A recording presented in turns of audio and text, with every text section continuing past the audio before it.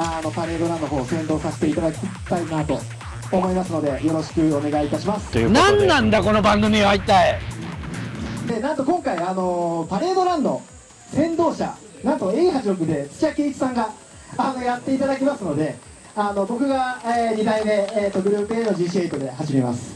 なので皆さんあのぜひゆっくりねまず軍祭フルコースであの本当に危ないところではあるんですけどもしっかり楽しめるようにあのパレードランの方を先導させていただきたいなと思いますのでよろしくお願いいたします。土屋さんからぜひあのこの軍祭というのはもう土屋さんしかいないと思うんですけどぜひ一言お願いいたします。軍祭といえばひろきでしょ。違う違う違う違う違う。ひろきの庭に俺はたまに遊びに来させていただいてると。いや違います。あの土屋さんを僕が YouTube とかで見た方が早かったですひろきが生まれる前から走ってるかなそうですね。あのだけどひろきんちの庭だからね。まあそうです。多分走行してる回数なんだかんだ僕の方が多い多いよねそうそうですね。絶対多いよ。ねはい。すみませんほんで年に56回だもん。本当にいやもっと走ってますよ絶対。78回？あそうですね多分2桁は言ってると思うんですけど。まあということで、えー、とこのまま流れで、えー、とパレードランの方始まっていきたいと思いますので皆さん、えー、壮行会参加者オフ会さんオフ会の参加者の皆さん、えー、随時、えー、そのまま続いてください。よろしくお願いいたします。はいというわけで今からパレードランが始まるということで。何なんだこの番組は一体。えおかしいだろこれ。いやすごくないですか？今そこの狭しと並んでますよパレードランのために。軍祭でさこんな何百台も見たことないよ。ひろきさんこんだけ集まりました。どうですか？これはやっぱり土屋さんが AE86 を乗ってる。ただそれだけでこんだけ集まると。いややっぱこうひろきがやっぱ総合で3位に入っちゃったり 4区の連中をやっつけちゃったりするからこう日本中のやっぱこうさ車ファンスバルファンだけじゃないからね来てるの。すごいよねしかし ひろきの人気がどんどん上がっていく。俺がどんどん追い越されていく。そんなことないですよ。だってあの土屋さん皆さんさっきの人だかり。土屋さんの周りですよ。あれ僕あれやったらとふわってこうあんなならない。絶対なことい。はねやいやいやならないならないですよ。いやだけどこれ全日本ラリーより人多いよ。全然いや本当そうなんですよ。なあ。もう全日本ラリー俺が主催した方がいいんじゃないか。あやべ怒られる今今のカットで。今の怒られちゃう。カットしないんで。民放の中で何でも OK が MXTV そうなんですでやっぱ今回持ってきたのは土屋さんといえば、はい。AE86 緑色のカーボン調というですかそ,、れがもう土屋さんのトレードマークみたいうなところがありますし、はい。で今回僕が持ってきたのはグループ A の GC8 まあ実際カルロス・サインツ世界チャンピオンですね。本物？なんですよ。今回女さん来れなかったですよ。あぜひ車だけでもみたいな。本物？そうです。かありがとうございますボクサーさん今回グループ A お越しいただき感謝これを持ってるってことは他にもいっぱい持ってるってことだよね。もう素晴らしさはもう全部一般のラリー車じゃないやつも全部は持ってまあじゃあこの番組で一応一通り一気乗りみたいのをやってみたいな。す いいですね。ね。やりたいやりたいやりたいね。はい。はい。ということではい。今回は総大総大数が？200台。220台。220台。ありがとうございます。すごい。220台です いやもう皆さんを引っ張るんだから、はい。あの過激なスピードではいきません。そうです。ね。ええ。であのひろきが煽らない限りは僕はセーフティースピードでいきたいと思います。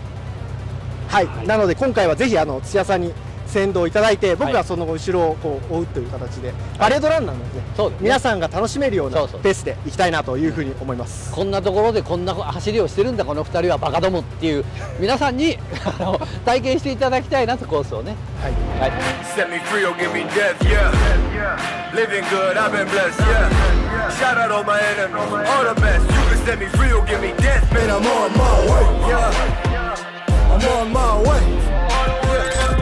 On my way, yeah. And I can do this all day, man. I'm on my way. Said I'm on my way. はい土屋さんパレードランお疲れ様でしたまあでもさお220台もいるとはい1周6キロあんだよはい帰ってきたらまだスタートしてねえ車がいたんだよそうまだスタートしてない車かなりありましたよねなあすごい台いやだからさあんまりこう30キロぐらいで1周目行ったから、2周目560キロぐらいで行かないとかわいそうかなと思ったけど、はいあの帰ってきた時にまだスタートしてないから これは無理だなと思ってやめた。はいというわけでね、まあ、なかなかちょっと台数が多いのでっていうところもあったんですけれども。これだって本当すげえよ、軍祭始まって以来だよこれ。いや今日もうすごい人数集まってるっていうところで実はあの出店ブースの方もかなりたくさんのブースが出店されてる、ぜひ一緒にちょっと土屋さんと練り歩きをさせていただければなと思いまして、ちょっと早速行きたいんですけれども。でロッソモデロさん。ほうほう。綺麗じゃんはい。軽いわ。土屋さん拝見してますか？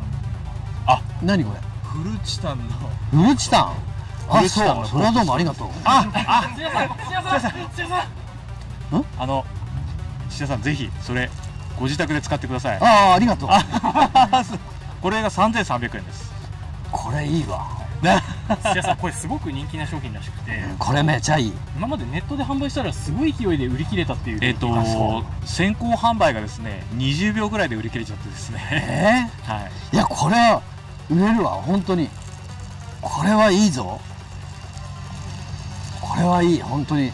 ぜひ視聴者プレゼントも何か。あこれこれ視聴者プレゼントじゃない。あこちらこちら視聴者プレゼントで、視聴者プレゼント。はい。俺用は？いいですか？あります。あります？ありますから大丈夫です。用意しておきます。いい人だね。土屋さん用もあるということで、はい、これじゃあ視聴者プレゼントいただきました。ウィンマックスはさはい。ウマックさんです。これ俺昔はい。ここで開発やってたの。あそうなんですね。だからエンドレスができる前。はいはい。ずーっとだからね1980年代からウィンマックスの開発をやってたの。はいはいはい。そこから出た人間が3人でうんうん花里っていうのと 星野っていうのと、はい。まあそういう俺らを含めてもっとこう自由なものを作りたいなっていうので出てったの。だからもともとは俺はウィンマックスが発祥なの、そういうことなんですね。そう。ウィンマックスさんのその土屋さんの中でのイメージっていうのはどうどういうブレーキメーカーさんですか、あ会社がでかいからうすぐ作ってくんないの。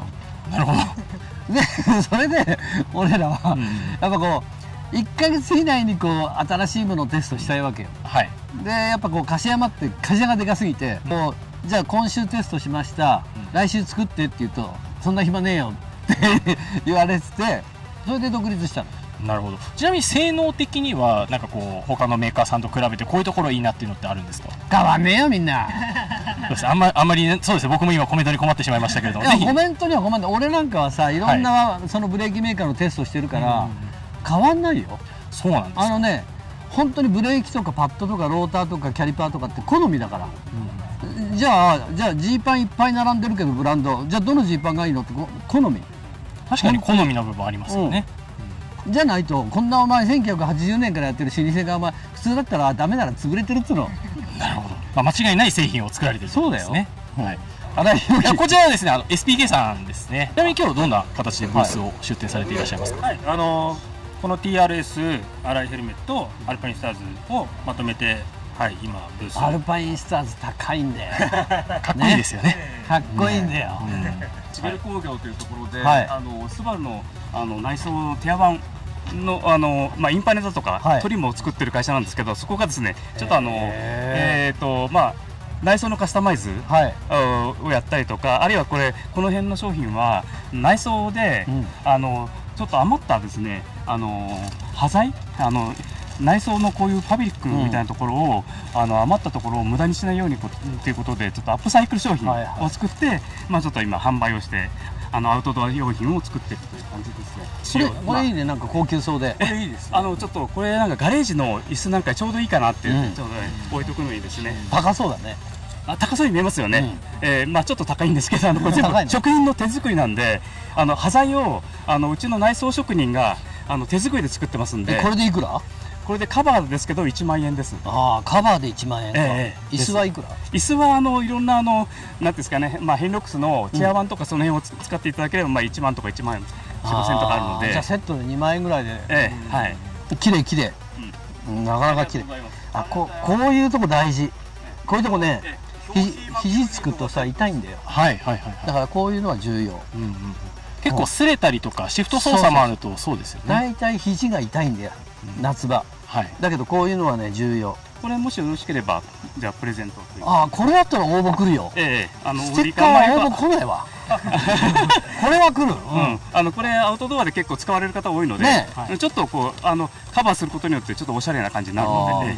これはアウトドアやってる人は絶対応募してくるよ。じゃあよろしければ、まあ、SG ベースというあの ブランドでやってますのでい。いじゃんえ。よろしくお願いいたし視ます。聴者プレゼントはい。ね。土屋さん今待ってましたとばかりにあの小倉倉地さんが今俺だから現役の頃はずっとはいあのいただいてたよ。スポンサーもしてもらってて。はい。小倉さんから。ぜひ土屋さんから小倉倉地さんの魅力。でも魅力はもう、はその本当にこういうのが欲しいんだよねっていうと、他のクラッチ屋だと23か月かかるけど、はい。小倉さんのところだとすぐ作ってくれる。なるほど。もう需要に合わせたものをあ迅速に。素早い。素早い、うん。はい、後回しにしないでさ、うん。ちゃんとねちゃんと話を聞いてくれる。なるほどなるほど。聞く力がある。聞く力がある、はい聞く力がありそうな人もいるけどね。うんなるほど。じゃあちょっと担当の方にお伺いしたいと思います。はい。今日どんな形で出店の方をされていらっしゃいますか？はい、えー、と基本的にはあの弊社の基本ラインナップを一通りご用意してありまして、えー、とストリートユースの,、まあ、あのクラッチから、えースポーツ走行向けの軽量タイプあとハイパワー向けのトリプルプレートとかあのお車のパワーとか走るシチュエーションに合わせて多彩なラインナップからお選びいただけるのが弊社の特徴でございますのであのそういったところがちょっと分かるようにという形であの持ってこさせていただきました。はいありがとうございますちなみに本日ちょっと取材で来させていただいてるんですけどもし視聴者プレゼントしていただけるものって何かあったりされますか？はい、あのよろしければオリジナル T シャツご用意ありますのでそちら差し上げればと差し上げられればと思いますので。いいですか？はい。土屋さんん T シャツ視聴者プレゼントいただけるそうです。はいありがとうございます、何枚ですか？えーね2枚はいありがとうございます。はい2枚いただきました。ありがとうございます。こんにちは。こんにちはいいじゃん電動チャリほら、はい。というわけでサンオータスさんサンオータスモビリティさんのブースですね。ね前回うちの番組でねはい。出ていただいて。新井宏樹選手を応援していますと。俺を応援しろよ。俺を。あ俺現役じゃねえな。はいといういいんじゃないの？はい、担当の方にぜひはい。お話をねお伺いできればと思います、今回は？はい。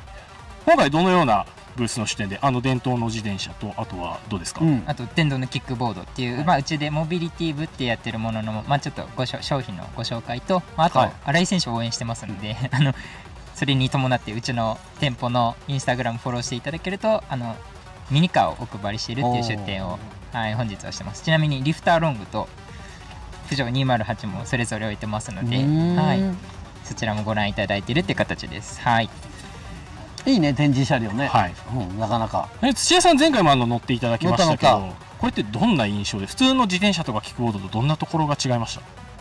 変わんないよ。あ変わらないですか、うん。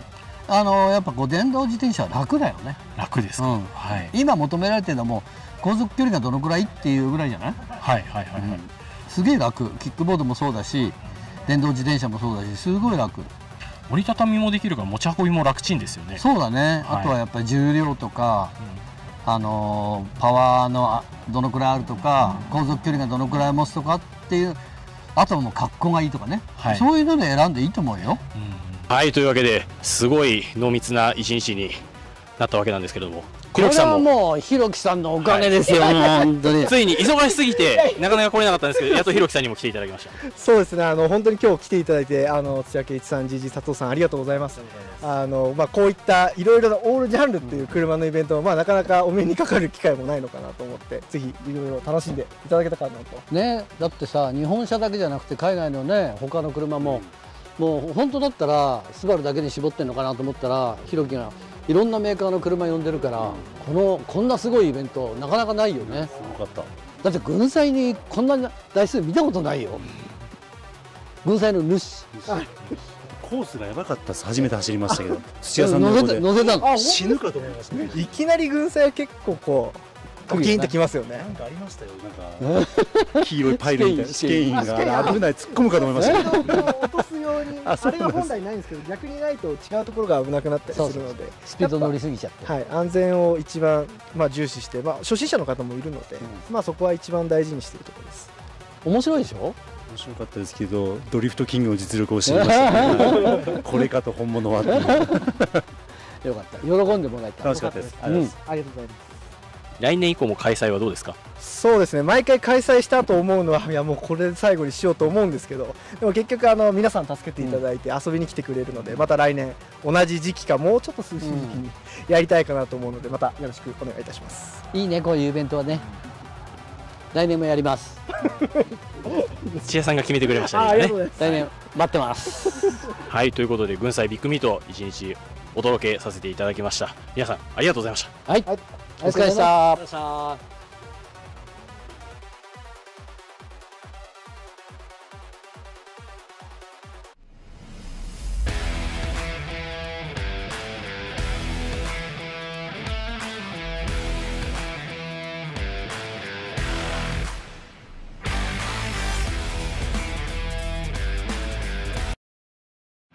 車のことならアヘッドモーターサービス。あなただけのこだわり。車の競技カスタムチューニング新中古車の買い取り販売ならアヘッドモーターサービスへ。車の話番組 YouTube では公開映像や特別映像を公開しています。チャンネル登録お願いします。